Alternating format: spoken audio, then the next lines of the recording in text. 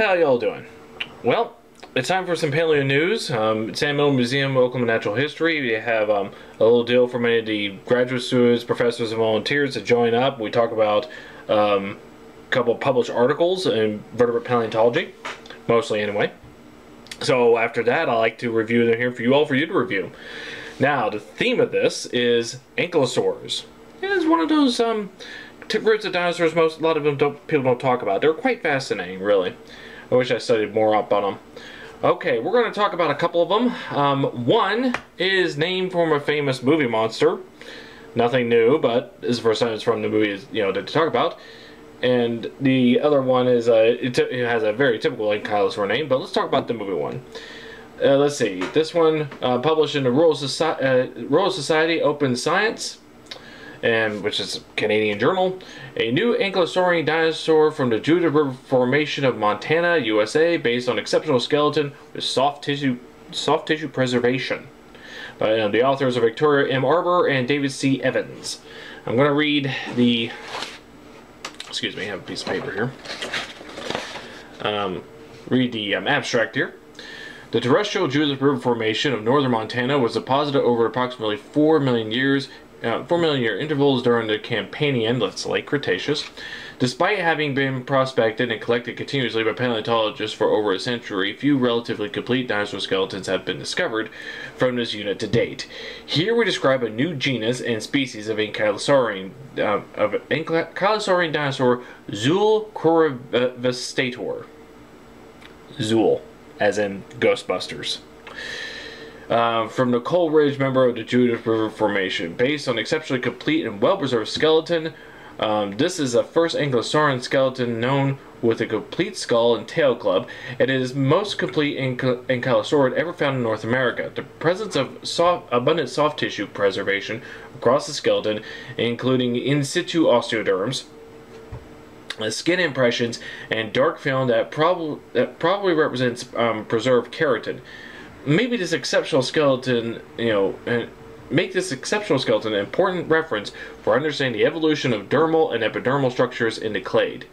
Phylogenetic analysis recovers Zuul as an ankylosaurin, ankylosaurid, you know, um, within the clade Dyoplosaurus and Scolosaurus and Euoplocephalus, being more distinct, distantly related with an. The occurrence of Z. crurivastator from the upper river, uh, upper Judith um, River Formation fills a gap in ankylosaurian stratigraphic and geographical um, record in North America, and further highlights that Campanian ankylosaurians were undergoing rapid evolution of stratigraphic succession of taxa um, as observed um, for Laramidian ceratopsids, hadrosaurids, pachycephalosaurids, and tyrannosaurids. Okay. So let's talk about the name. Yes, this this um, ankylosaur is uh, is named after the creature Zuul from the um, 1986 movie Ghostbusters, and it's understanding why it does have a similar looking head. Um, the skull is kind of crushed and you know from dorsal ventral a little bit, and also lopsided a bit. You can see that in the journal, which of course I'll link down below. And this is a um, 28 page paper. It's a little lengthy, but you know, such papers when they describe new dinosaurs should be. They need to describe as much as possible. This one specifically on the head and the tail. Not much on the body itself, but uh, I don't recall, I can't recall this one, if they're still getting the body out. But it talked about what is, you know, what they found discovered, and it's, one of the most important things is that it's very well preserved for this type of um, species and you know they find you know very, you know the tail club is very well intact. Uh, they find all sorts of scutes and all that. As I said, they compared it to others. They you know put it in the phylogeny. They give detailed accounts of all the measurements. Pretty typical of a paper like this, but I think most people, if you ever heard about this, is the fact, hey, we got a dinosaur named after a monster from Ghostbusters. But for those paleontology aficionados that you know want you want to see much more just you know um, what this animal means, where does it fit in, how well how well is preserved, which brings to the next article right here. Now this one, again, is a new species, very um, beautifully preserved, and but I think they have a um, um, in the meeting there, they we talked about you know their arguments is kind of um, shady at best, and you know put a pun on that. Um, from current biology, an exceptional preserved three-dimensional armored dinosaur reveals insights into coloration and Cretaceous predator-prey dynamics. Authors are Caleb Brown, Donald Henderson, Jakob Vinther, Ian Fletcher, Ainara um, uh, Joshua Herrera, Roger E. Simmons. I should have just said Brown et al. In brief, um, Brown et al. reports a new exceptionally preserved dinosaur armored dinosaur showing bony armor with horn coverings and organically preserved scales. A reddish brown coloration and camouflage in the form of counter shading are indicated. Crypsis suggested strong visual pre um, um, predation pressure on this heavily armored dinosaur, distinct from modern um, systems. Uh, the highlights read a new, new armored dinosaur is described based on exceptionally preserved specimen. That it is. Abundant in situ osteoderms and um, keratinous sheets and scales and preserves. That is true. Reddish brown coloration in crypsis in the form of countershading is indicated. We'll get to that in a second. Um, crypsis indicates strong predator pressures on the large, heavily armored dinosaurs. Again, place where we'll get to that. This one is named Borealopelta. And um, new dinosaur, um, beautifully preserved. Like the first, it's like the first half of it. You know, you can see the head and the top osteoderms, and again, such a gorgeous to look at. And not all of it's perfectly preserved. The back part of it, you know, in one of the illustrations here, seems very eroded off.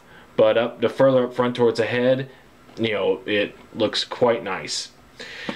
Interesting thing about Zuul and um, Borealopelta is that they were both found in um, marine deposits, beach in particular, they were found upside down.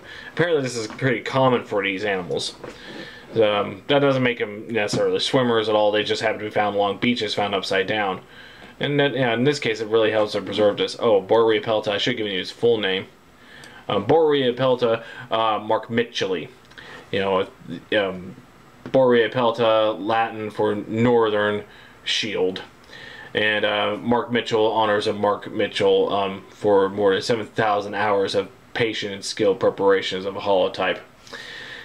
Oh, and Zuul, um, it's genus epithet, it means shin destroyer. So, yeah. so, Zuul's in destroyer, and um, Northern Shield, um, Mark Mitchell.